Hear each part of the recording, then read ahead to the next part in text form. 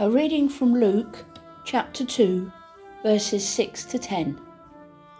While they were there, the time came for the baby to be born, and she gave birth to her firstborn, a son. She wrapped him in clothes and placed him in a manger, because there was no guest room available for them.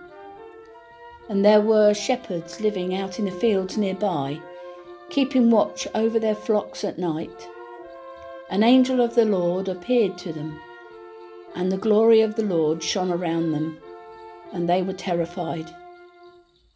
But the angel said to them, Do not be afraid. I bring you good news that will cause great joy for all the people.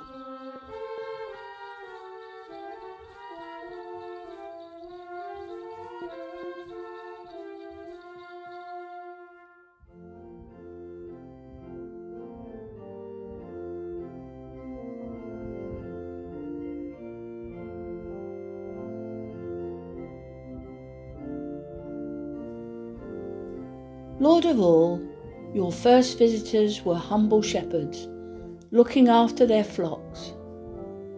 Thank you for farmers and all who are working to provide food for others this Christmas.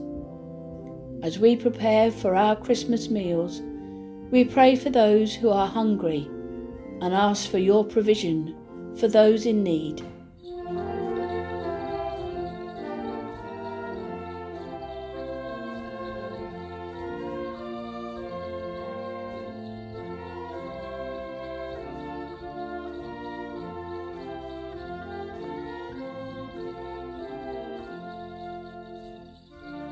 How could you share food with someone this Christmas time?